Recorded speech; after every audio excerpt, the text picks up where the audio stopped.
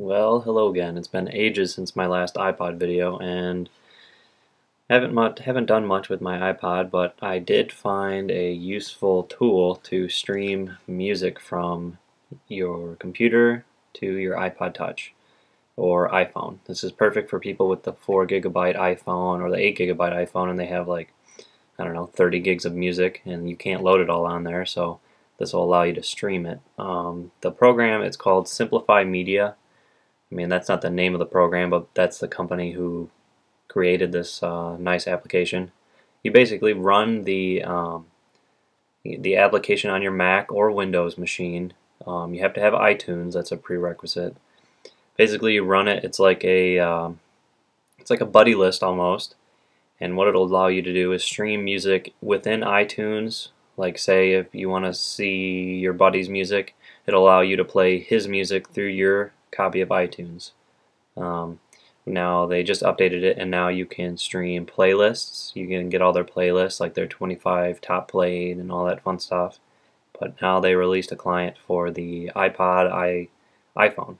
So here I'm going to show you that. Right now, um, I believe it only works on Wi-Fi. So iPhone users, you might want to test it out on Edge and see if it works. It might not, it might, I don't know. So here you go. So here's Simplify Media. Right now I've, I've auto automatically, I've already got um, some contacts added to this. It's very simple. You just put in your username and password. Um, from there, see I got three people online right now. Post break would be me, uh, my friend's MacBook, and then my other friend. So I can go to my MacBook, because I got the application running right now. And here you can see my playlist. You can see all the songs that I have. Um, I can go to all songs. Now it'll, what it'll do is it'll queue up 21 songs, or 25 songs I believe.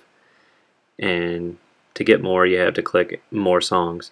Now the beauty of this is go to 25 most played you know and there you can see how how easy it is to pull up this music.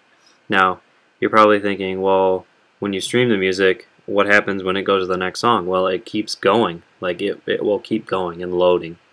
The load times are okay. I mean, it's not perfect, but it works. I mean, if you're if you have music you want to listen to and you have an access you have access to Wi-Fi, this is perfect.